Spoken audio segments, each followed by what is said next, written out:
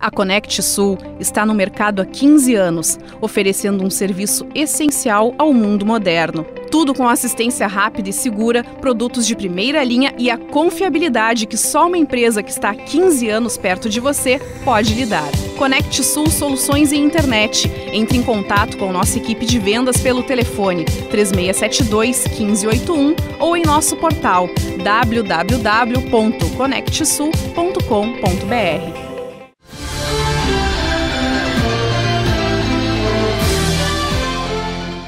noite. Começando agora o Expresso Regional com as principais notícias da região centro-sul do estado. A Polícia Civil de Camacuã recuperou na manhã de hoje um veículo Chevrolet Monza na rua Nereu José Centeno, próximo ao trevo de acesso norte do município.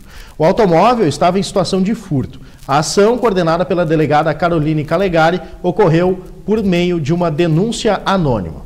A Polícia Rodoviária Federal prendeu um motorista flagrado transportando 13 quilos de cocaína em tablets no quilômetro 47 da BR-392, em Rio Grande, no sul do estado. Com dados levantados pelo Serviço de Inteligência da corporação, os agentes abordaram uma saveiro que vinha da capital. O carro era conduzido por um homem de 35 anos e o possível destino da droga era Rio Grande.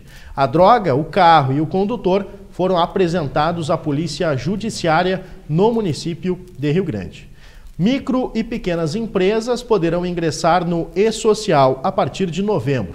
Hoje foi publicado no Diário Oficial da União a resolução número 4 do Comitê Diretivo do E-Social, permitindo que micro e pequenas empresas e microempreendedores individuais possam ingressar no programa que unifica as informações fiscais, previdenciárias e trabalhistas dos empreendedores em um banco de dados administrado pelo governo federal. E o pelotão ambiental da Brigada Militar verificou uma oficina mecânica e chapeação sem documentação adequada para funcionamento. O estabelecimento está localizado na estrada da Picada Grande, no interior de Dom Feliciano. Conforme o registro da Delegacia de Polícia de Pronto Atendimento de Camacuã, no local foram localizados 25 veículos desmanchados para reforma e ainda danos à vegetação, sendo cortadas exemplares de árvores nativas.